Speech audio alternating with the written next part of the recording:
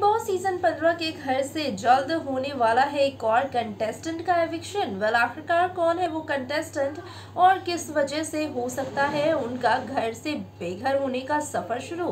क्या है पूरी अपडेट क्या है पूरी खबर? हम बताएँगे आपको इस वीडियो में। नमस्कार, मैं सृष्टि। आप सबका स्वागत करती हूँ हमारे यूट्यूब चैनल पर। वेल आपको बता दूँ, बिग बॉस सीज़न पंद्रह के घर में जिस तरह से देवोलिना की तबीयत लगातार बिगड़ती जा रही है, उसको देखते हुए कहीं ना कहीं बिग बॉस ये डिसीज़न ले सकते हैं कि उन्हें घर से निकालना पड़ जाए। जी हाँ आपको बता दूँ कि बीती रात देवोलीना भट्टाचार्य जी बेड से उठ भी नहीं पा रही थी। उनके कमर में इतने ज़्यादा पेन थी इवन कि उन्हें खाना भी उसी बेड पर खाना पड़ा।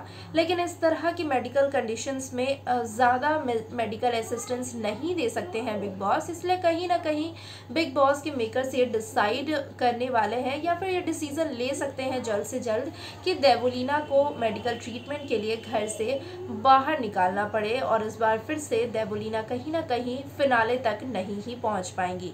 वेल आपको बता दूँ कि बिग बॉस सीज़न पंद्रह के घर में देबोलीना की वाइल्ड कार्ड एंट्री हुई थी। बतौर कंटेस्टेंट वो बहुत ही ज़बरदस्त परफॉर्मेंस दे रही है एंटरटेन भी लगातार कर रही है, लेकिन उनके मेडिकल प्रॉब्लम के कारण एक बार फिर से उन्हें घर से बेघर होना पड़ सकता है।